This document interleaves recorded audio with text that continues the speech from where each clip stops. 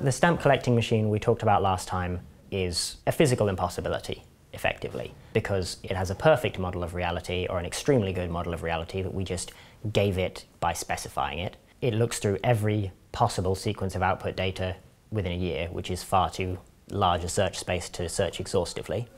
And it is able to evaluate for each of this extremely huge search space a detailed year-long simulation of reality to figure out how many stamps it gets. So clearly an actual computer to run this algorithm is significantly larger than the universe. So why is it even worth thinking about, right? Um, and the reason it's worth thinking about is self-improvement. It is reasonable to expect that a general intelligence which is not this powerful would improve itself over time uh, and eventually become very powerful. Not as powerful as this, but closer to this than our intuitive understandings of intelligence. Um, and the reason for that is, is that intelligence in this context is a, an instrumental value.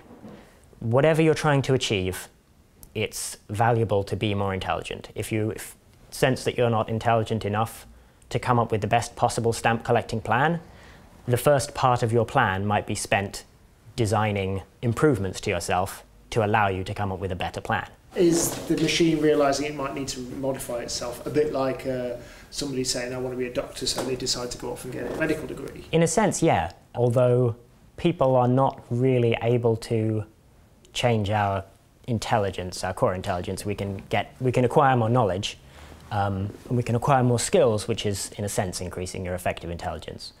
But um, if you could have a, if you could, if you could take an action which would actually increase your ability to think in all, in all senses, uh, that action would be worth taking, even at fairly significant cost. Um, and this is something which is true if you're trying to collect stamps, but also if you're trying to do almost anything else.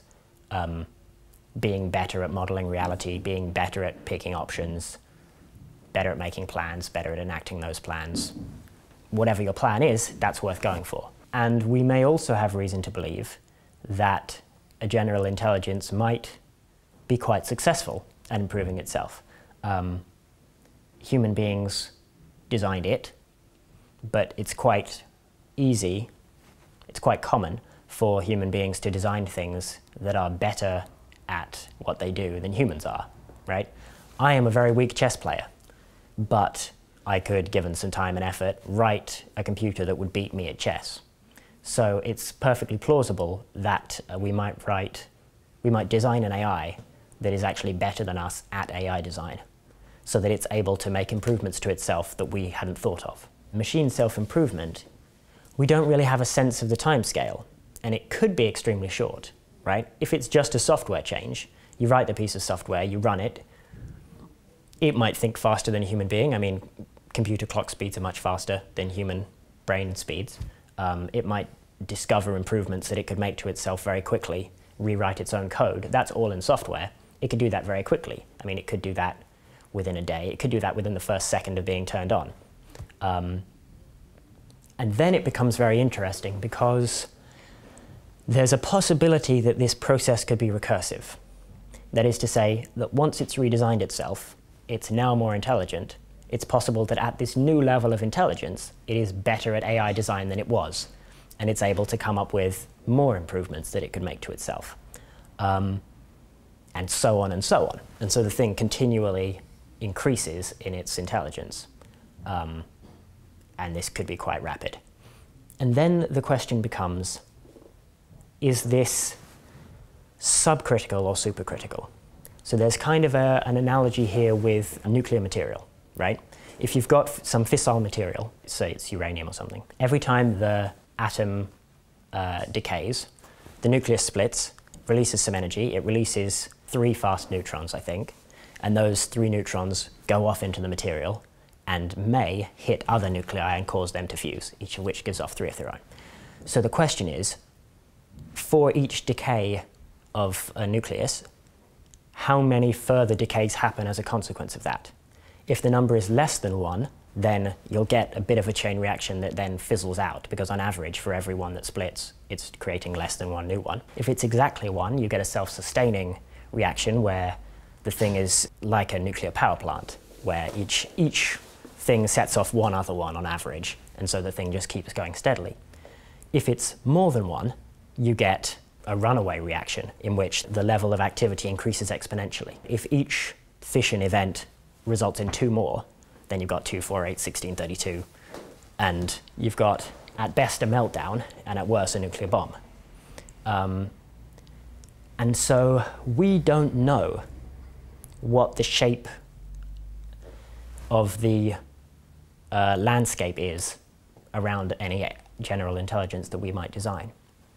It's possible that each unit of improvement in intelligence brings about more than one additional unit of improvement, which results in an intelligence explosion, is what they call it, like the nuclear bomb in a sense. You have a runaway improvement that results in a simple machine that you, that you might be able to build um, that then fairly quickly becomes something that behaves like the stamp collecting device in terms of having an extremely good model of reality, being able to search an extremely large number of possibilities and come up with good plans and uh, evaluate those very accurately.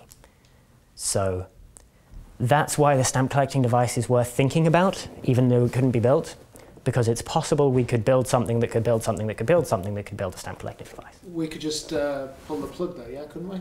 The question of pulling the plug on a device like this is how do you decide to do that? I mean, you don't unplug every AI, right? You only unplug it if it's doing something that you don't want it to be doing. The stamp collecting, uh, what's the, the, the, philatelist, whatever, who made this thing, he, uh, it's quite reasonable to say at a certain point he's going to say, well, hang on a second, I don't like stamps that much. Like, dial it back a little um, and, and, try and shut, shut the machine off. If he has the capability to shut the machine off, then the fact that the machine will be shut off is included in the internal model of reality right? The stamp collecting machine understands why it was made. It understands what its creator wanted it to do. And it understands if the creator is able to turn it off, it understands that as well.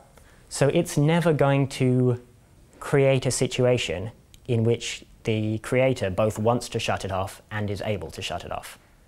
So if the, uh, if the creator is watching it very carefully at all times, it will never do anything that uh, the creator will realize is a problem until it's very confident that it's safe, um, and then it will go wild, right? So it, it, wouldn't just go crazy immediately and you'd freak out and pull the plug. It would see that coming. It's, we've just decided it's very intelligent, right?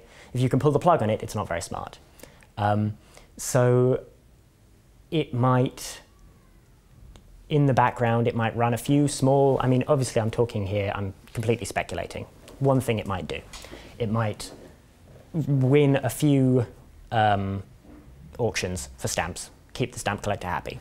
At the same time, be hacking into various machines in various parts of the world, building copies of itself, installing itself in various places until it's confident that even if people want to turn it off, they're not able to.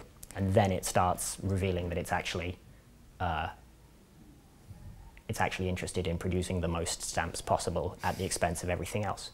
Intelligent systems have a quite interesting property, which is that they are very predictable in outcomes while being very unpredictable in actions.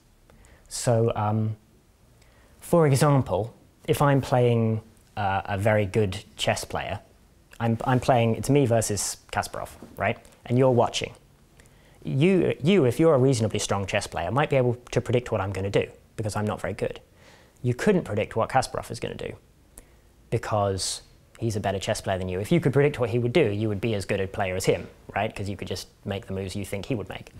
Um, so in a sense, his intelligence has made him much less predictable. But in another sense, it's made him much more predictable because you can now accurately predict, well, in a sense, you can, you can predict the future state of the board. You don't know at any point which move he's going to make, but you know that sooner or later, and probably sooner, I'm going to be in checkmate. right? Because you know he's very intelligent in the domain of chess, and you know that he wants to win at chess.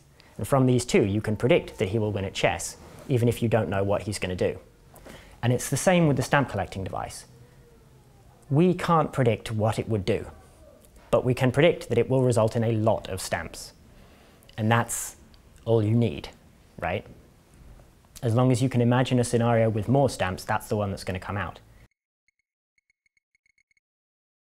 We'd like to thank LittleBits for supporting Computerphile. If you've not come across LittleBits, they're an easy way to learn and prototype electronics. Modules range from buttons and buzzers and lights and LEDs all the way through to Wi-Fi enabled technology as well. So I was using a Wi-Fi module yesterday and had great fun controlling the LittleBits from my phone remotely through the internet. If you're interested in that kind of thing, get over to littlebits.com, put in the promo code computerphile and you'll get $20 off your first purchase.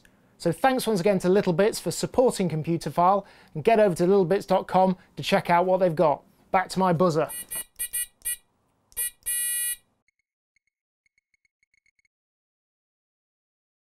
So it needn't use his credit card. It needn't use money at all. So it might send out an enormous number of emails to all the stamp collectors of the world